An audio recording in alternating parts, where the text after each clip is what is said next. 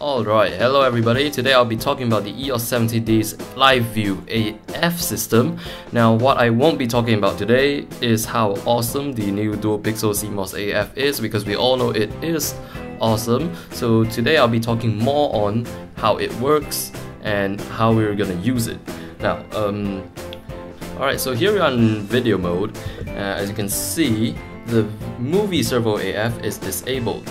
So even if I touch on a subject, it will not focus on the subject because the servo AF is disabled.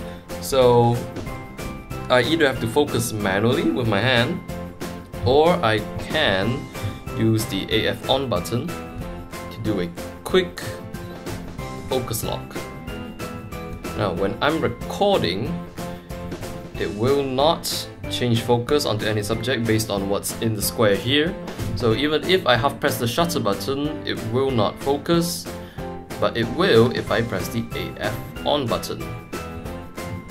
So it's a quick snap-on focus type, so it's not the slow, nice, smooth focus pull you're looking for. So for that, you have to enable the movie servo AF. Enable Alright, so here we are. So now what whatever is in this square here, the camera will try to focus on that. As you can see, right here. So yes, even when recording, it's now in continuous AF. So basically it will focus on whatever that's in the square. It's um, always on. You don't have to initiate it. It will basically focus on whatever that's in the square. the camera over here. To the back it should focus uh, accordingly. Now to turn this off, you basically tap here, and the servo AF is on, and it will not focus on whatever you touch. So to turn it back on again, you tap it again.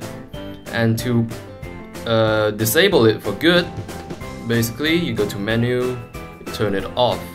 So why would I do that? Because when I set it to enable, and let's say I want to manually focus, so I want to turn this off. So I want I don't want to use it yet, but if I switch to photo mode, switch back to video mode, there it is again, it's on by default. So it can be quite annoying if you uh, don't use this function very often, but of course if you rely on this function a lot, then of course by all means leave it on. So basically that's how it works. So there it is. If you have any more questions, please post them in the comment section below. So this is XH15 from ZY Productions. I will see you again in the next video.